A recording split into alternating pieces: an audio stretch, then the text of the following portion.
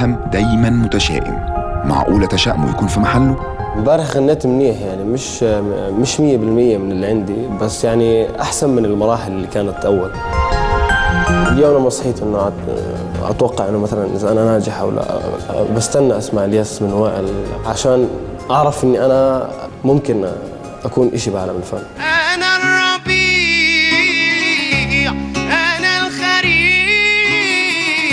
أكيد هلا الكل أعصابه وكلنا متوترين لأنه كل واحد تعب لحتى يوصل لهون وضيع أشياء كثير عشان يكون هون.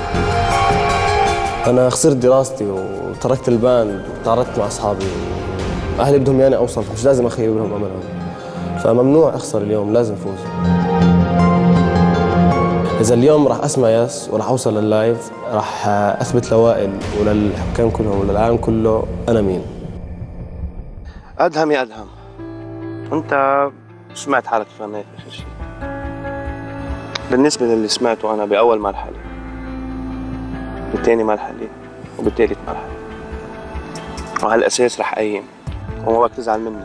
أنا من الأشخاص اللي أول ما سمعتك حبيت صوتك وحبيت ادائك كنت مصر إنه تتقدم لأنه بالفعل عندك خامة حلوة وعندك صوت حلو. شخصيتك بدك تشتغل شوي على شخصيتك.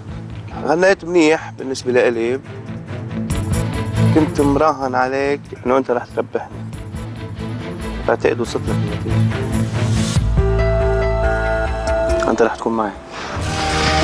أنت رح تكون معي. مبروك. يلا برافو برافو. جلي حالك. الله معك. أدهم كسب وضمن مكانه في النهائية. وتشاؤمه ما كانش في محله. مبروك. الله يبارك. فيك إيه. الحمد لله تمام. حاسس بايه؟ حاسس بشيء حلم. إن شاء الله راح أطلع اللي اللي ما ما طلعته من المراحل.